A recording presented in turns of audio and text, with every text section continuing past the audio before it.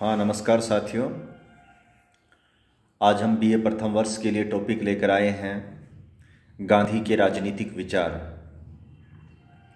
इससे पहले के वीडियो में हमने आपसे ये विमर्श किया है कि गांधी का व्यक्तित्व और चिंतन बहुआयामी है। कमोबेश जीवन के हर क्षेत्र में गांधी के सुझाव हैं, विचार हैं।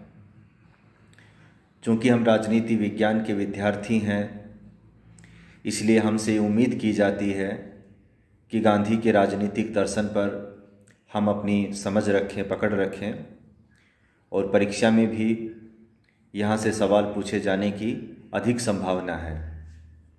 इसीलिए आज हम बात कर रहे हैं गांधी के राजनीतिक विचार की। तो गांधी के राजनीतिक विचारों को हम कुछ खंडों में विभाजित करते हैं। सबसे पहले हम बात करते हैं कि राज्य के संबंध में गांधी के क्या विचार थे।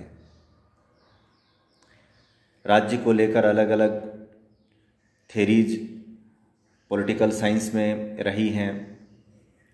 उदारवाद का अपना विचार है, मार्क्सवाद का अपना विचार है, समाजवाद अपने एंगल से राज्य को परिभाषित करता है। जहाँ तक गांधी की बात है तो गांधी ने राज्य की दो व्याख्याएँ की हैं। पहली जो व्याख्या है, वो उन्होंने एक आदर्श के रूप में की है, जिसे वो हासिल करना चाहते थे। वो ये मानते हैं कि राज्य एक अनावश्यक बुराई है, यानी कि वो राज्य की ज़रूरत ही नहीं समझते थे। अनावश्यक बुराई का शब्द इसलिए इस्तेमाल किया जा रहा है क्योंकि उदारवाद राज्य को एक आवश्यक बुराई समझता है। उदारवाद ये तो मानता है कि राज्य एक बुराई है, लेकिन वो ये मानता है कि इस बुराई की हमें ज़रूरत है। हम इसके बिना रह नहीं सकते या हमारी व्यवस्था चल नहीं सकती। क्योंकि वो मानते हैं कि राज्य की वजह से व्यक्ति की स्वतंत्रता का कहीं ना कहीं हनन होता है। लेकिन राज्य के अभाव में फिर अराजकता की स्थिति आ जाएगी और फिर जो स्वतंत्रता या जो व्यक्ति के अधिकार हैं, वो पूरे समाज में विस्तृत नहीं हो पाएँगे। तो वो एक मजबूरी के रूप में उदारवाद राज्य को स्वीकार करता है। लेकिन गांधी मानता है कि राज्य का होना कोई मजबूरी नहीं है, बल्कि ये तो गैर ज़रूरी है। इसकी कोई ज़रूरत नहीं है। गांधी मानते हैं कि राज्य एक संगठित हिंसा का प्रतीक है। वो पुलिस के माध्यम से, जेल के माध्यम से, सेना के माध्यम से बल प्रयोग करता है, वो हिंसा पे टिका है। इसलिए उसका नहीं होना चाहिए। वो नैतिक विकास में, व्यक्ति के नैतिक विकास में एक बाधा है।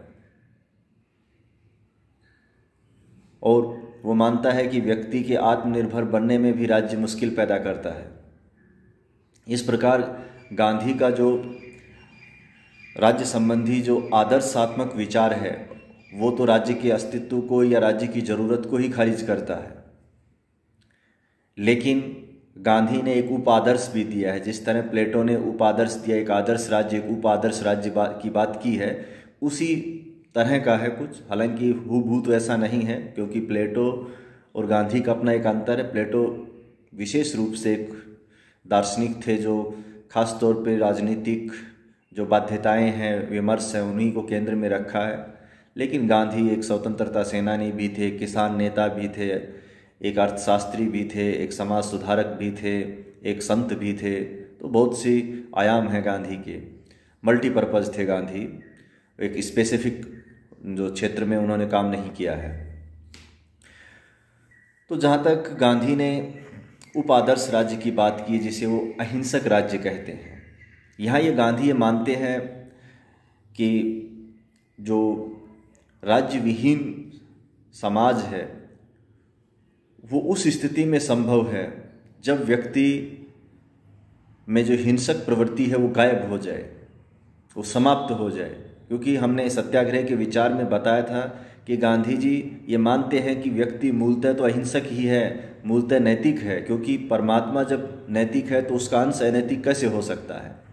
लेकिन भौतिकवाद के इस दौर में उसकी जो नैतिकता पर भौतिकवाद का एक पर्दा गिर गया है और वो अपने नैतिक पहचान को भूल गया है। इसलिए वो किसी के साथ हिंसक व्यवहार कर देता है, किसी के साथ बेईमानी कर देता है, या किसी को अपने व्यवहार से जो दुखी कर देता है।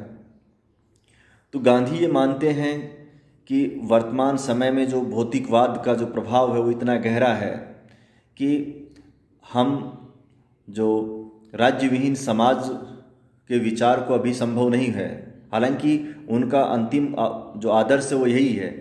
तो एक साधन के रूप में वो अहिंसक राज्य को स्वीकार करते हैं। अंतिम रूप से तो उनका उद्देश्य राज्य विहीन समाज तक ही पहुँचना है। लेकिन वो मानते हैं कि एक बार अहिंसक राज्य होगा और अहिंसक राज्य का जो काम है वो व्यक्ति के नैतिक उत्थान में मदद करना है, उन परिस्थितियों को उपलब्ध कराना है, जो व्यक्ति के नैतिक विकास में सहायक हों। यहाँ राज्य बल का प्रयोग नहीं करेगा, बल्कि सत्याग्रह के ज़रिए लोगों के व्यवहार को बदलेगा, उनके जो आदर्श कार्यशैली हैं, उनको प्रेरित करेगा। तो यहाँ वो डर से नहीं, बल्कि प्रेरणा से आत्म भाव से व्यवस्था को चलाएगा। और जब व्यक्ति धीरे धीरे अपने नैतिक रूप से विकसित होते जाएँगे तो वो फिर राज्य अपने आप समाप्त हो जाएगा। और फिर वो पूर्ण आदर्श हासिल कर लेगा। तो ये राज्य के संबंध में गांधी के विचार हैं और हालाँकि इस तरह की व्यवहारिकता आजकल देखने को नहीं मिलती है।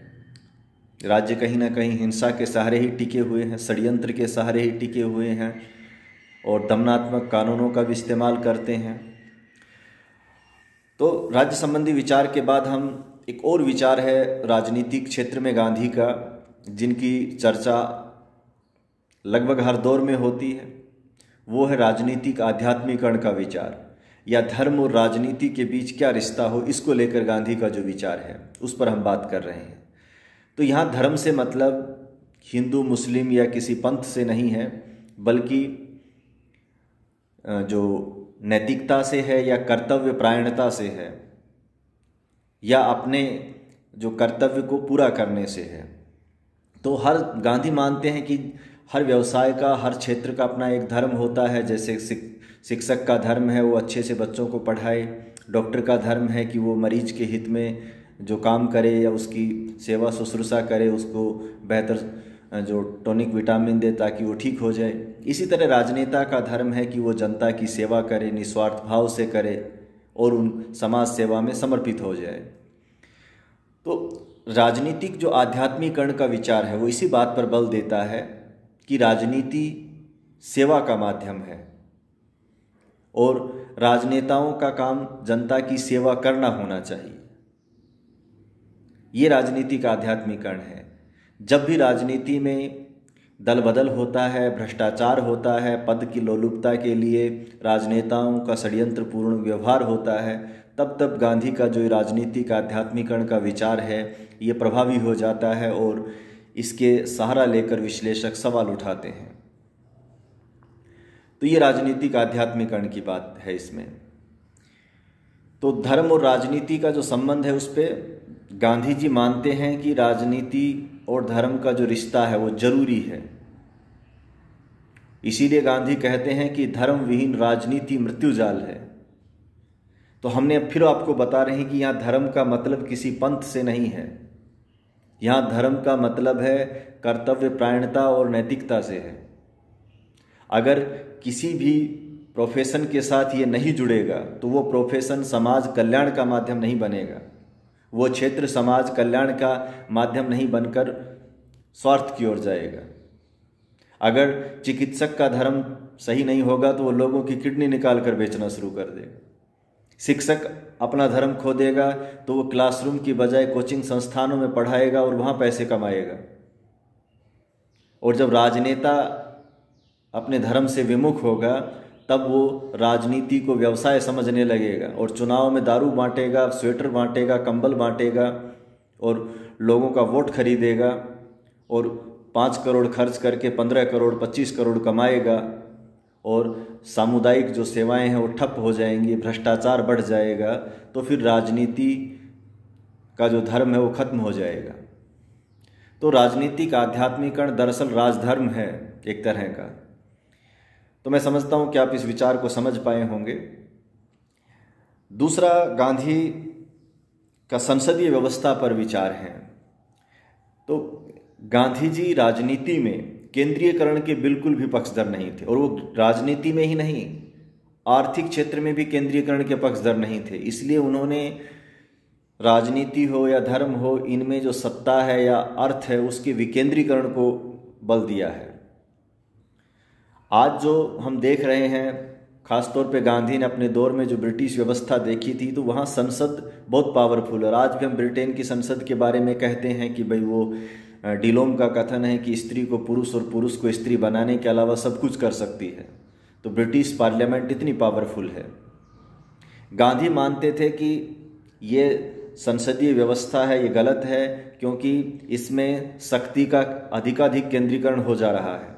और जहाँ शक्ति का अधिक केंद्रीकरण होता है, फिर वहाँ जो मानवीय विकास या नैतिक विकास वो ठीक से नहीं हो पाता है, और जो दमन है, वो बढ़ता है। लोगों की आकांक्षाएँ हैं, अपेक्षाएँ हैं, वो किसी के रहमो, कर्म पर टिक जाती हैं। तो गांधी ने संसदीय व्यवस्था का विरोध किया है।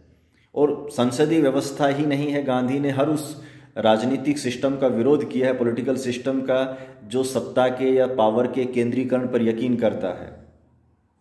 इसीलिए गांधी ने पंचायती राज का समर्थन किया है। और हमारे जो नीति निदेशक तत्व हैं, उनमें अनुच्छेद 40 में जो पंचायती राज की बात कही गई है, और उसके बाद जो नब्बे के दशक में नए पंचायती राज के दौर में वो लागू हुए, हालाँकि वो पहले भी लागू हो गया था उन्नीस सौ उनसठ में, लेकिन उसकी व्यवहारिकता में कुछ कठिनाइयाँ आ रही थी और वो ठीक से काम नहीं कर पा रहा था।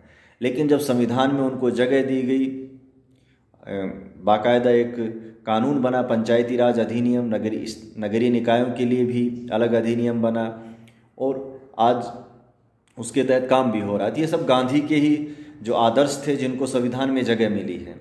तो हालाँकि गांधी जिस तरह का राजनीतिक जो व्यवस्था चाहते थे, वो आज आज भी नहीं है। गांधी का ये मानना था कि जो सत्ता है वो अधिकाधिक गाँव में होनी चाहिए।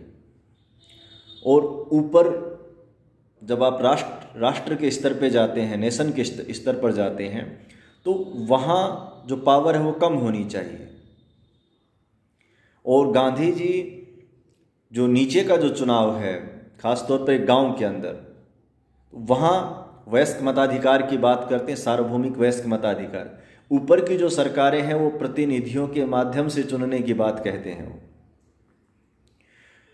तो एक तरह से जो ग्राम स्वराज्य का जो विचार है उनका, वो गांधी जी का एक राजनीतिक व्यवस्था का एक आदर्श है, जो अहिंसक राज्य की हम बात कर रहे हैं। अहिंसक राज्य जो गांधी का आदर्श राज्य है, उसमें तो राज्य की जगह ही नहीं है।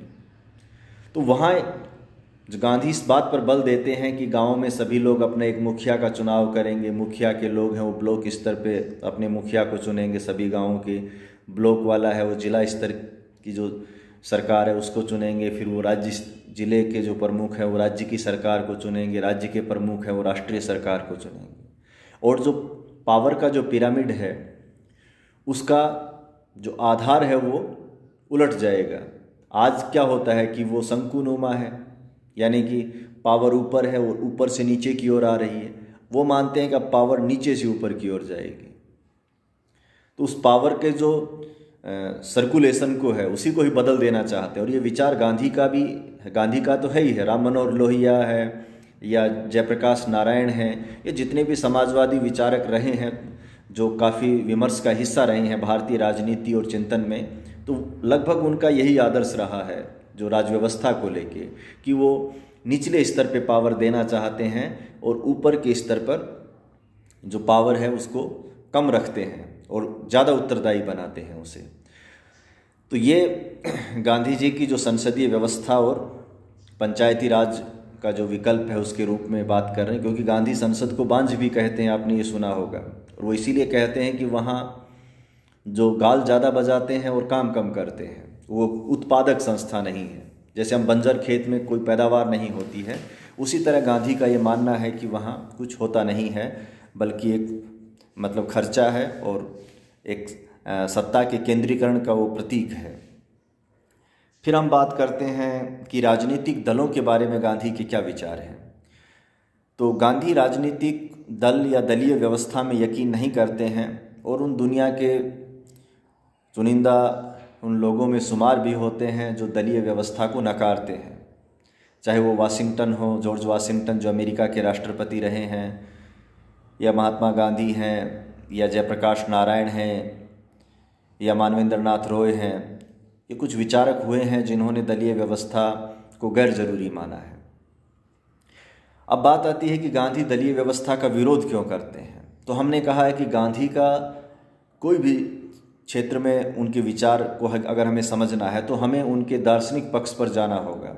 गांधी ने हमेशा सत्य और अहिंसा की बात की है और अपने विचारों को आध्यात्मिकता से जोड़ते हैं।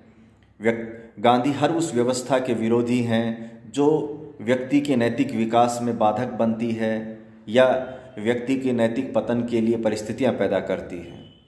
तो गांधी का मानना है कि राजनीतिक दल हैं, वो व्यक्ति के जो स्वतंत्र चिंतन है, उसको प्रभावित करते हैं। अभिव्यक्ति की आज़ादी पर प्रतिबंध लगाते हैं। आपको पार्टी लाइन में ही बोलना पड़ेगा। भले आप पार्टी के उस फैसले से सहमत नहीं हो, और ये ज़रूरी भी नहीं है कि सभी व्यक्ति एक फैसले से सहमत भी हो, क्योंकि कोई व्यक्ति मशीन नहीं है। सत्य पर किसी का एकाधिकार नहीं है। सत्य हर आँख से बड़ा होता है। तो गांधी का ये मानना है कि राजनीतिक दल दलीय अनुशासन के नाम पर कुछ लोगों के विचारों को सब लोगों का विचार बनाकर समाज पर थोप देते हैं। भले ही दूसरे लोगों का दल के भीतर उस विचार से सहमति ना हो, लेकिन वो दबाव में उस विचार को मानते हैं। तो इस रूप में गांधी दलीय व्यवस्था के समर्थक नहीं हैं। फिर गांधी का एक विचार है कि वो विश्व बंधुत्व में यकीन करते थे। अपनी पुस्तक हिंद स्वराज्य में उन्होंने एक सिद्धांत दिया है, सामुद्रिक तरंग का सिद्धांत। सामुद्रिक तरंग का मतलब समुद्र में तरंग है या फिर आप गाँव में भी जो छोटे जलाशय होते हैं, उनमें भी आप देख सकते हैं जब आप बीच में पत्थर फेंकेंगे। तो वहाँ से पहले मतलब गोलाकार उस पत्थर के चारों ओर एक लहर निकलेगी, फिर उस लहर के आगे और लहर निकलेगी। तो इस तरह से एक सर्किल कई सर्किल के भीतर सर्किल बनते जाते हैं और वो थोड़ी देर बाद नष्ट हो जाते हैं। तो गांधी ये मानते हैं कि ये जो पूरी दुनिया है, वो इसी तरह से एक दूसरे से जुड़ी हुई है, एक दूसरे के भीतर है। यानी कि व्यक्ति है। वो गाँव के भीतर है, गाँव है, वो ज़िले के भीतर है, ज़िला है, वो राज्य के भीतर है, राज्य है, वो राष्ट्र के भीतर है और राष्ट्र है, वो दुनिया के भीतर है। तो इसलिए एक व्यक्ति को हमेशा एक अपने गाँव की सेवा के लिए समर्पित रहना चाहिए, एक गाँव को अपने ज़िले की सेवा के लिए समर्पित रहना चाहिए, एक ज़िले को अपने राज्य की सेवा के लिए समर्पित रहना चाहिए, एक राज्य को अपने राष्ट्र की सेवा के लिए समर्पित रहना चाहिए और एक राष्ट्र को पूरी दुनिया और मानवता के लिए समर्पित रहना चाहिए। इसलिए गांधी का जो विश्व बंधुत्व का विचार है, वो बहुत स्पष्ट है। वो किसी भी तरह के अंतर्राष्ट्रवाद में यकीन नहीं करते हैं। वो किसी भी तरह के कट्टरवाद में यकीन नहीं करते हैं। वो हर तरह के सद्भाव की बात करते हैं, चाहे समाज के भीतर हो या दुनिया के भीतर हो। तो बेसिक रूप से यही गांधी के राजनीतिक विचार हैं, और मैं समझता हूँ कि आप इसे समझ पाए होंगे। फिर भी आपकी कोई जानकारी होगी या कोई क्योरी होगी तो हम उसका समाधान क्लासरूम में करेंगे। धन्यवाद।